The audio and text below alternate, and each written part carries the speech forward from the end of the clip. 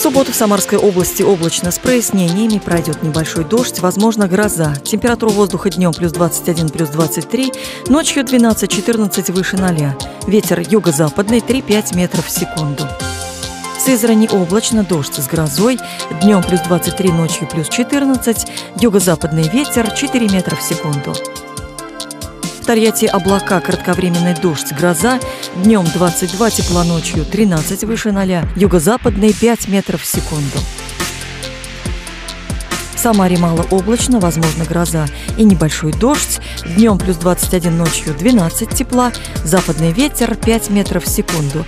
Атмосферное давление 744 миллиметра ртутного столба. Влажность воздуха 54%. Геомагнитное поле слабо возмущенное.